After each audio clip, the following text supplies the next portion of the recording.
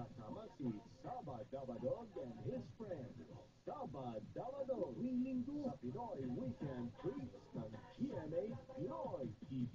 Makulay ang kanilang social life.